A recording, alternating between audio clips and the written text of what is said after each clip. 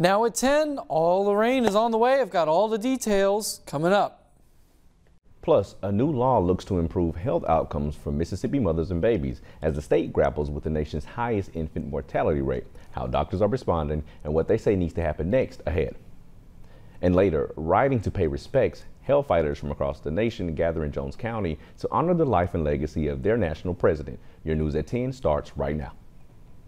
Tonight, WDAM 7 News is proud to be on your side with WDAM 7 News at 10.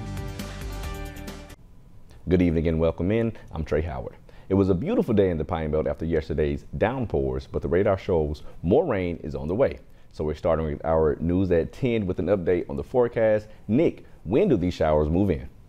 Well, they're certainly to our west. So if we take a look here at the South Central Regional Medical Center, you notice that we're dry for now, but that's going to change in the near future. And even that temperature there, we're in the 60s as we speak, but colder temperatures are on the way after the rain. So just keep that in mind that yes, we're dry, but it's not going to last. Similar story there at Forest General Hospital, slightly colder there at 62, but other than that, we've got a nice slight breeze out of the south, maybe west southwest there at around three to five miles an hour, but just enough to rustle a few leaves, but not enough to really be a concern or a bother. But there you go. We're tracking those storms off to our west, uh, coming out of the Arklatex and Red River Valley there, bordering Oklahoma and Texas, moving across the Louisiana-Arkansas border and towards our area. This will be our next weather maker coming up tomorrow. So, as always, stick for the latest, not only with me, but also for the app to see the latest on what to expect with the rain. Trey? All right, thanks, Nick. Developing tonight, two people are behind bars and several pounds of meth off the streets following a multi-week investigation in Perry County. The Perry County Sheriff's Department tells us deputies exposed a large-scale drug trafficking organization, this with the help of Mississippi Bureau of Narcotics, the FBI, and the U.S. Postal Service. Investigators spent about three weeks of surveillance gathering descriptions of several people involved in the operation. And when officers tried to stop a black Honda Accord in connection with the investigation, officials say people in the car threw packages from the window. PCSD later reported those packages contained meth. In total, investigators recovered about four pounds of the drug. The two people in the vehicle, Frankie Tatum and Calandria Lawrence, were arrested and charged with aggravated trafficking of a Schedule II controlled substance and tampering with physical evidence. As of right now, neither of them are on the Perry County Jail docket. Tomorrow, flags will fly at half staff across Mississippi as the state mourns Chief Warrant Officers Derek Abbott and Brian Zimick. You'll remember the two National Guardsmen died last month in a helicopter crash in Prentiss County during a routine training flight.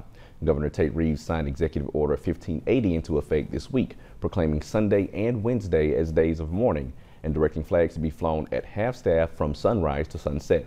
Tomorrow will honor Officer Abbott and Wednesday will honor Officer Zimick. A new bill passing through the legislature will allow earlier Medicaid coverage for pregnant women. Governor Tate Reeves signed the presumptive eligibility legislation, or House Bill 539, into law on Tuesday. Lawmakers hope it will improve the health outcomes for babies and mothers as they will be able to receive early prenatal care. And here's how. The legislation says Medicaid will pay for a pregnant woman's outpatient medical care for up to 60 days while her application for Medicaid is being considered. For reference, a regular Medicaid application takes 45 days to process.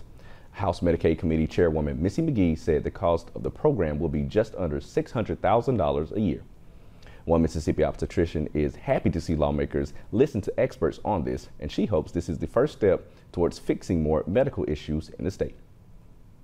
I'm glad that our state is focusing on this. I hope we continue to do that. The problem isn't solved, but there is increasing the awareness, increasing the advocacy. It's really about our families here in Mississippi, and we we don't want to have that statistic forever where we have the highest rate of infant death, highest rate of preterm birth. This is something we should be really focused on solving. This comes after the state extended postpartum Medicaid coverage from two months to a full year in 2023. Now for this legislation, it will officially become law on July 1st later this year. Today, members of Hellfighters USA came from all over the nation to ride in honor of National President Mike Grubb. Grubb passed away on February 12th of natural causes. R.J. Harrison tells us more about who Grubb was and how he used Hellfighters to support those in need.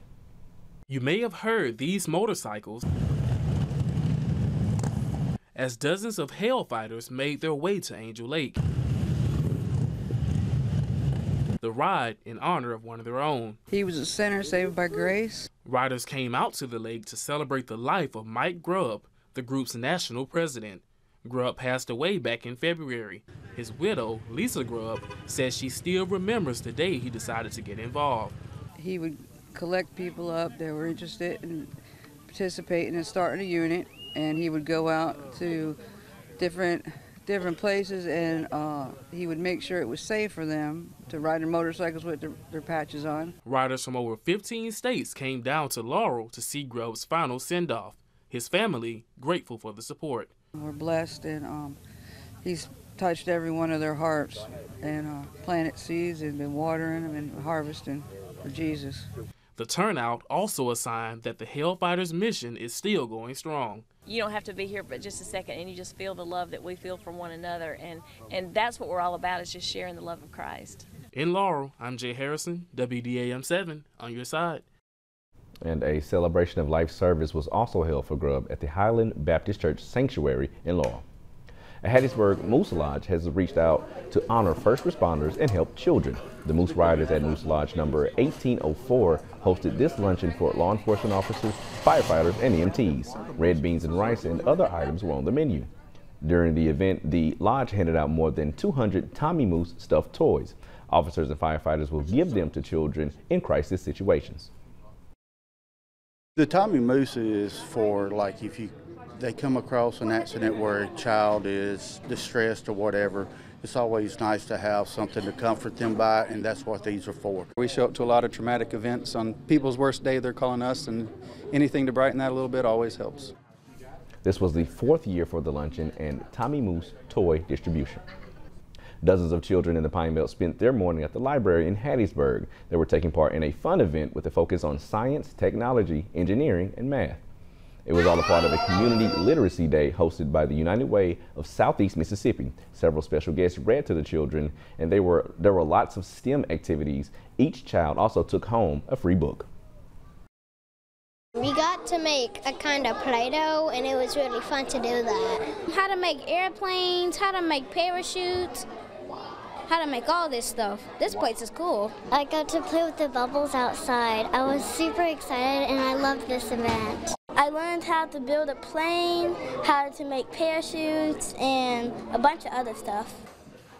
The event was co-hosted by Hattiesburg Parks and Recreation, the Hattiesburg Early Learning Collaborative, and Hattiesburg Excel by 5. Coming up at 10, from the graduation stage to the shipyard, dozens of Ingalls shipbuilding apprentices enter the workforce straight ahead. Plus, eliminating the 6% commission on home buying and selling, how realtors say a new change could make the housing market more competitive after the break.